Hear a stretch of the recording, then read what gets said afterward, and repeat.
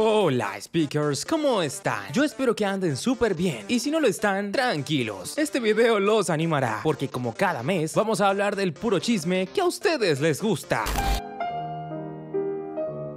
¡Ay, chisme, chisme, chisme! Y es que como ustedes saben, una vez al mes les traigo este video especial donde recopilo desde las polémicas más estúpidas como la de la niña macha que fue criticada por operarse la jeta Voy a operarme.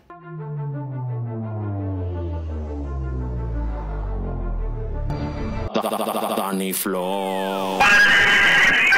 Desde esas polémicas tontas hasta otras más fuertecitas, como la de Gemita que se confirmó que sí le había puesto el cuerno a Auronplay. Como sabéis, ayer no pude hacer stream, estaba ocupada siendo infiel. ¿Demasiado pronto para hacer bromas? No es gracioso, no me reí. Sí, está fuerte el asunto. Así que para no dar más rodeos, mi nombre es Johan, pero me pueden llamar Speak. Y este es el top 5 peores polémicas de octubre. Pero antes de continuar con el video, les recuerdo que se pueden hacer miembros de este hermoso canal, solo tienen que darle al botón unirse. Pero quedado si es que me vuelvo miembro de este canal. Pues qué bueno que lo preguntas niño, pues puedes ver los videos antes que cualquier otro simple mortal. Tienes acceso a emojis exclusivos de este canal y aparecer en los videos para ser saludados como estas hermosas personitas.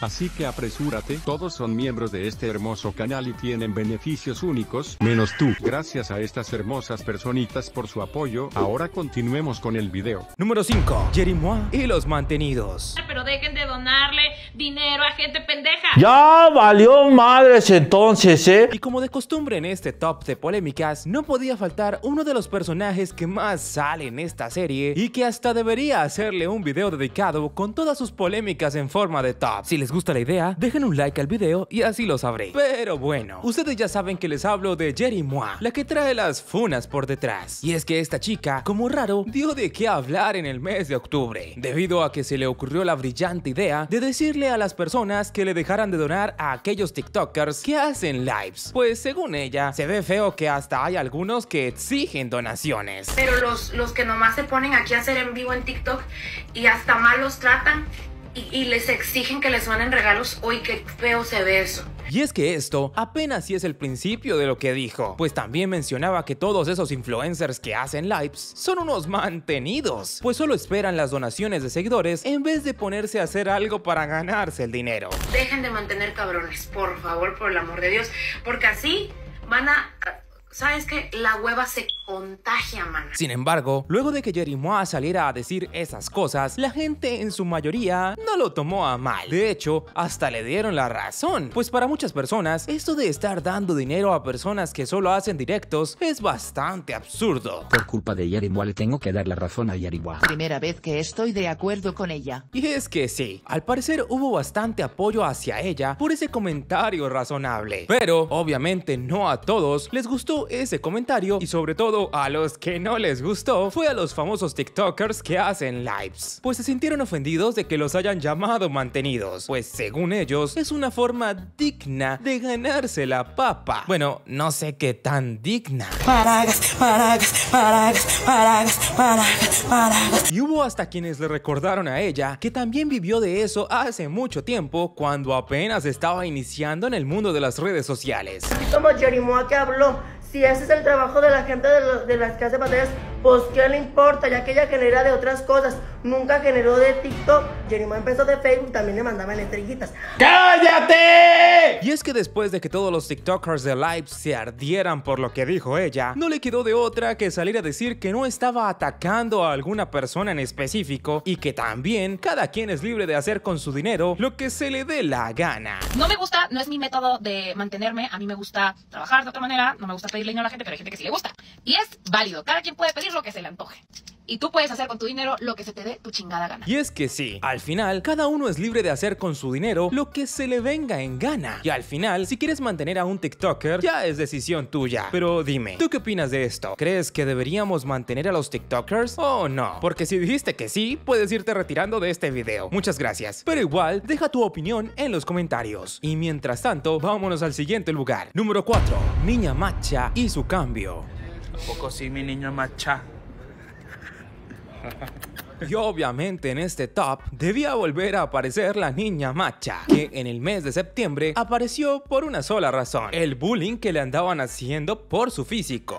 Y que la de por perdida, no hay pedo, aquí tengo a su amigo a un lado y lo mueve. Ay, mi hija, y es que tú tampoco cooperas. Y es que, para el que no lo recuerde, esta chica siempre ha sido criticada por una sola razón, sus prominentes cachetes, que la verdad da igual si son grandes o pequeños. Pero parece ser que a la gente sí le importó esto y por tal razón ha sido criticada hasta el punto en que muchos decían que no merecía el novio que tiene porque es más atractivo que ella. Sí, una tremenda mamada lo que dice la gente. Yo la veo y digo, güey, está fea, es la neta, está tosca y la chingada, pero eh, tiene un pinche corazón y es tan alegre y tan feliz. Sin embargo, a pesar de que el novio trató de defenderla a su manera, igual la gente siguió con el hate. Y tantos fueron los comentarios negativos que al final se terminó operando. Hoy quiero compartirles una decisión importante. He decidido operarme. Voy a hacerme una bichoctomía y una lipopapada, pero quiero que quede claro que no lo hago por el odio ni por la presión externa. Lo hago por mí, porque quiero y porque me siento lista para este paso. Y sí, según sus palabras, no lo hace por presión social, pero personalmente pienso que en parte sí lo hace por eso, ya que recibir comentarios sobre tu físico todos los días en cualquier momento te puede llegar a afectar, así seas la persona más segura de sí misma. Y a pesar de que no ha terminado de recuperarse por completo de su operación, igual la gente la sigue criticando y la siguen comparando con JJ, el avioncito. Jai, jai, jai, jajaja. Estás bien, cólera. ¡Ustedes son imbéciles! Sí, parece ser que la gente no entiende que una cirugía necesita tiempo para notarse y que de igual manera les debe dar igual el aspecto de los demás, porque nadie debería criticar el aspecto de nadie. Pero bueno, ¿tú qué opinas de esto? ¿Quieres que haga un video hablando un poco más sobre este cambio? Déjame tu comentario y prometo que el siguiente video se hablará más a fondo de este tema. Por ahora, vámonos al siguiente lugar.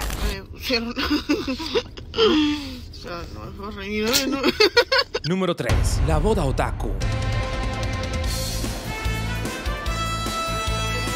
¿Qué mamada? Y parece meme lo que les acabo de mostrar, pero no, no es meme. Pues en el mes de octubre, más específicamente en México, una pareja muy enamorada y fanática de los Caballeros del Zodiaco decidieron casarse. Y pues todo normal hasta allí. Pero el problema fue que lo hicieron con temática de los Caballeros del Zodiaco, asistiendo tanto ellos como los invitados con cosplays de este anime.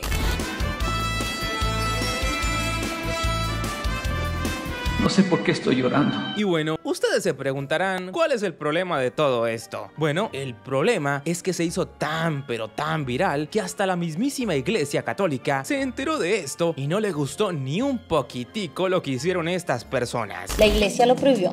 La arquidiócesis de León emitió un comunicado prohibiendo este tipo de celebraciones temáticas en los templos de la ciudad, pues dijo es una falta de respeto hacia los sacramentos y los lugares sagrados. Y es que como acabaron de escuchar, resulta que esto a la iglesia le pareció una falta de respeto y por lo tanto ahora ya nadie puede casarse con temática otaku. O bueno, por lo menos no lo van a poder hacer en una iglesia convencional. Sí, la verdad un poco absurda esta polémica. Sin embargo, fue una polémica que dejó varios comentarios, unos a favor y otros en contra de esto. Imagina tener una boda tan única que la gente se enoja porque todos se casan de manera básica. Enferme la gente que odia la felicidad de otros. Apoyo la boda otaku. Ya en serio, ¿quién hace una boda otaku?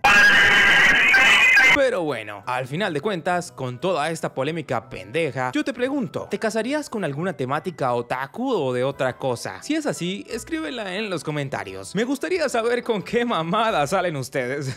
no, en serio, quiero leerlos. Dejen su comentario. Número 2. Yuya se pasó de aesthetic. Sí, sí, mija.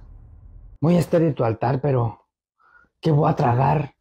Y bueno, para este puesto no me quedaré mucho tiempo porque realmente es una de las polémicas más pendejas que hubo en el mes de octubre. Y la verdad, a veces entiendo por qué hay creadores que solo suben contenido cada seis meses. Tal es el caso de Yuya, que yo creo que todo el mundo ya la conoce, pero si no la conoces, te explico rápidamente. Es una de las youtubers pioneras en la creación de contenido de belleza que con su particular voz alcanzó la suma de más de 24 millones de seguidores en su canal. Ahora bien, ella, en los últimos años se ha dedicado a hacer otras cosas y ya no se enfoca tanto en las redes sociales, pero de vez en cuando publica uno que otro video, como recientemente que se le ocurrió hacer un video mostrando su altar de muertos.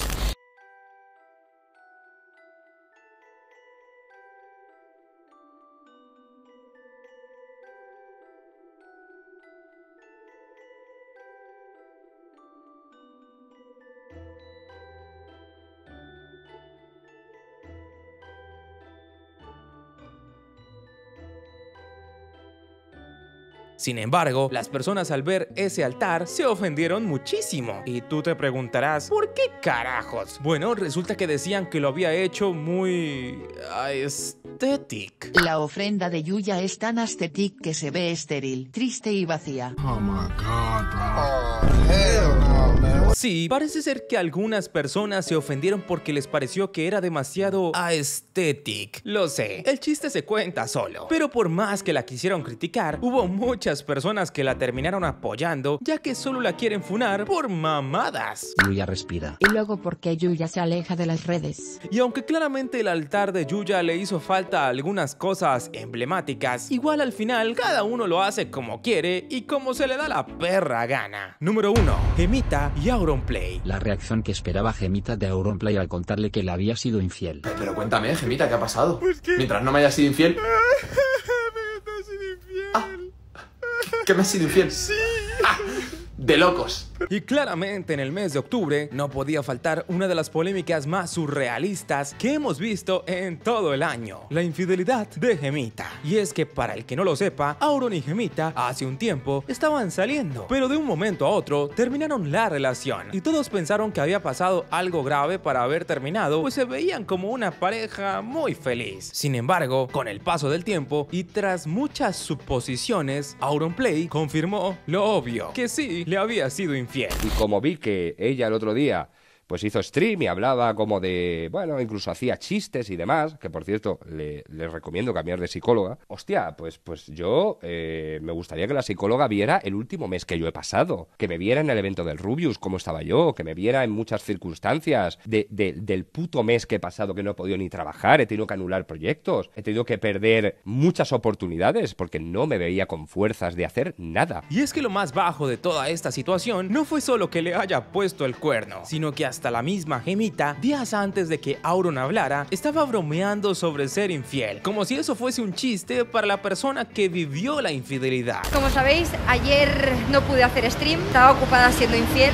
demasiado pronto para hacer bromas. No es gracioso, no me reí. Sin embargo, lo más irónico de toda esta situación no fueron los cuernos que esta tipa le puso a Auron, sino que después de que todos se enteraron de lo infiel que fue, ella, en respuesta, hizo un directo hablando de la situación para terminar victimizando porque Auron tomó a mal el hecho de que le fuera infiel. Lo sé, esto parece un chiste. Cuando yo intenté explicarle la situación, no, no solo no me escuchó, sino que lo, que lo que me encontré fue insultos, gritos, amenazas y me encontré una versión de él que no había visto nunca y eso me asustó. Sí, parece ser que Gemita vive en otra realidad, donde se piensa que si eres infiel, la otra persona se lo debe tomar de buena manera. Y por eso la gente le terminó tirando hate y con razón. Es la mayor estupidez que alguien ha dicho en redes sociales para victimizarse. Y es por esta razón que esta polémica se llevó el primer lugar. Pero dime, ¿qué opinas de todas estas polémicas? Házmelo saber en los comentarios y mientras comentas, aquí te dejo dos videos más para que sigas perdiendo el tiempo en mi canal.